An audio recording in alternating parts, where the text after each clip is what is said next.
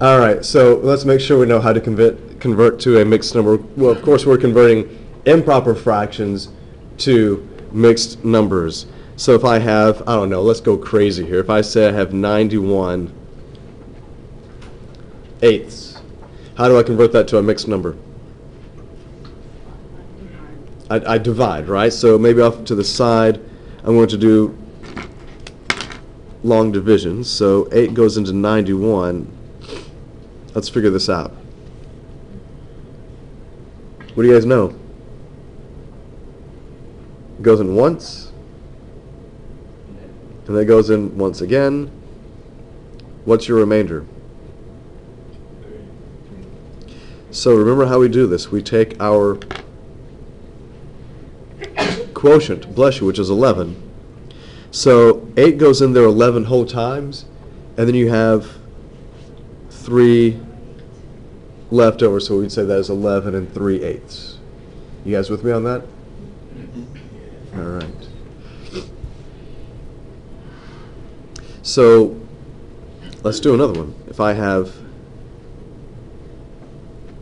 50 over 6, how do I convert that to a mixed number? When you do long division again?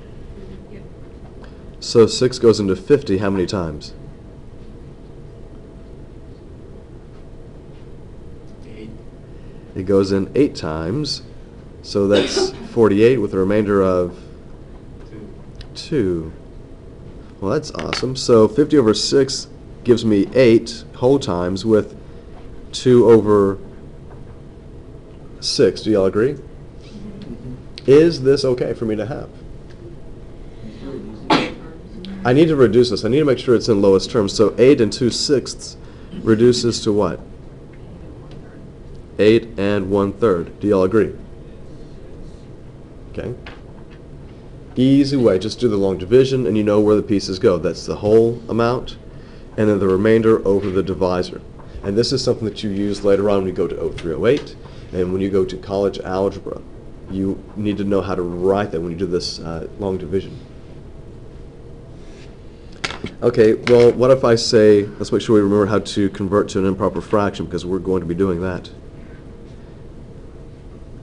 We looked at a few examples of this last time. Let's do it again, just to make sure that we are all on the same page.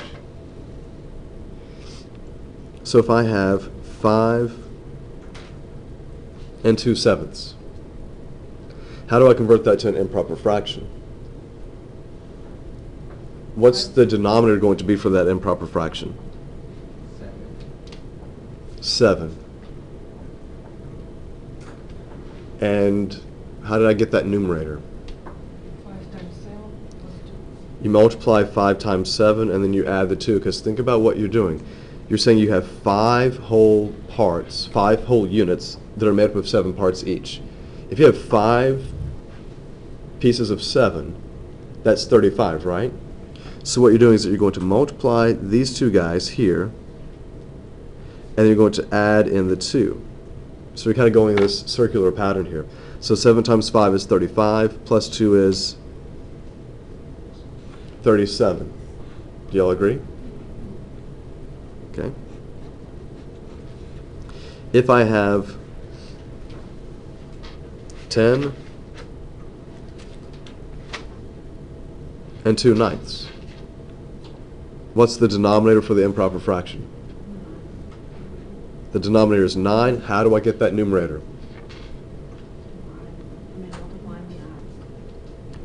So 9 times 10, and you're going to add in the 2.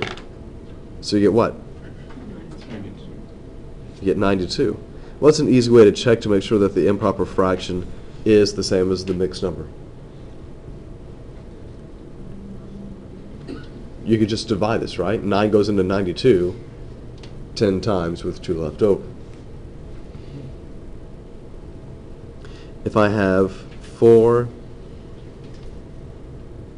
and 5 elevenths, what is that guy?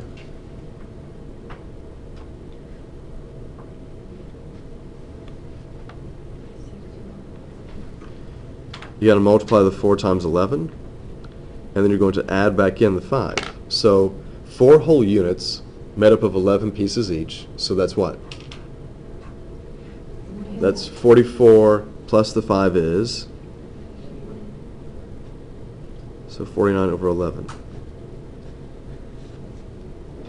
Is that cool? Now, when I look at these numbers, I want to be able to estimate and round to get a good idea about where these numbers are. So let's take a moment and look at some of these guys. We just want to estimate, we want to round these guys. So round slash estimate. I look at the last number that I had, 4 and 5 elevenths. This is approximately, whoops, these little squiggle equal signs to be approximately equal to. Is this closer to 4 or 5? How do you know? It's actually closer to 4. And here's the reason. Look at 5 over 11. Is 5 half of 11 or greater or less than half of 11? It's just a little bit less than that, right? So I could round this guy to 4. Although if I'm doing, if I'm really doing estimating in my mind, I'm going to look at this guy more like 4 and a half. Because I can do some estimating with 4 and a half. But if we're just sticking with whole numbers, just with integers, we might say 4. If I were to say 7 and 8 ninths, how might you round that guy? That guy's close to 8. You see that 8 over 9, that's really close to being 9 over 9, so that's close to being another whole unit.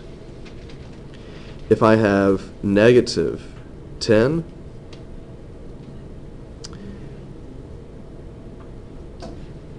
and 7 tenths.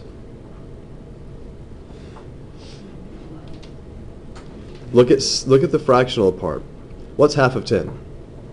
5. 7's more than 5, right? So this guy's closer to being the next whole value, which would be negative 11. That's the closest one that it would be to. You guys with me on that? Uh, let's just do one more, just make sure everybody's with me here. If I have 3 and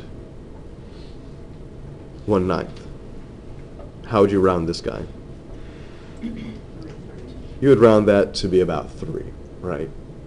Not that the fractional parts are meaningless, but we can get we can estimate and round to get a good idea about what our answer should be, especially when we start talking about things like addition, subtraction, multiplication, and division.